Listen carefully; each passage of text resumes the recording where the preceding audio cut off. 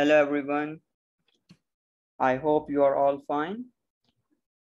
Today we have we had the math class and uh, today in math we have the page number seven and the topic was bags. Okay, so you need to write date on your books. Today it was 8, 9, 20, 21. So you have to write on top of the page. So what's the topic name? Bags. Lesson number four and page number seven. So today we learn how to count in tens and then between the tens you have to find, you have to guess and estimate your answer. Okay, you will choose the right number so this is the 100 square where you can find your uh, multiples of tens, 10, 20, 30, 40, 50, 60, 70, 80, 90, and 100. So we can find we can find all the tens in this 100 square. So here we got the multiples of tens. You have to write them on your school notebook. Okay, you must have your math notebooks. These are multiples of 10.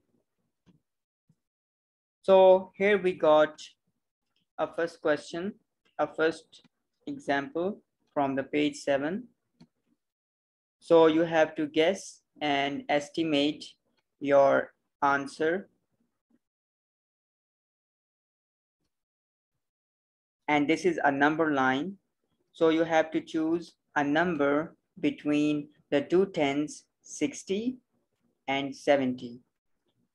So as you know, these are two tens like 60 and 70. So you have to guess a number that comes between 60 and 70. So you can choose any number, okay? It's your estimate. Don't choose the exact or right number. Estimate your answer. It can be 61. It can be 69. It can be 65.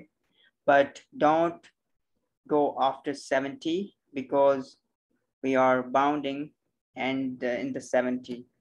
Okay. And don't move back from 60.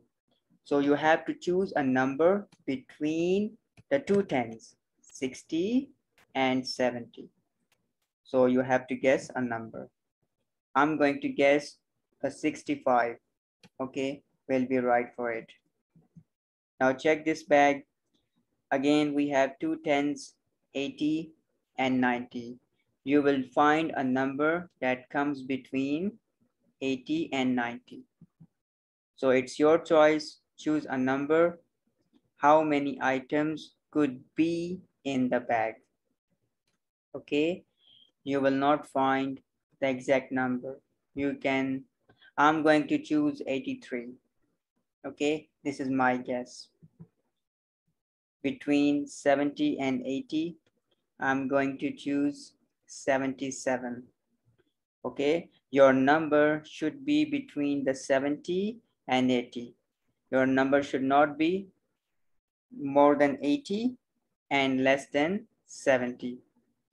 So your number, your estimate should be between these numbers. Same like this. So I wrote these answers. Okay, so you have to estimate your number and try to write on the notebook. I choose this number because this is my guess. So that will be your homework. From tomorrow, we will finish this page number six on the skill builder. Thank you so much guys for watching. Goodbye and take care.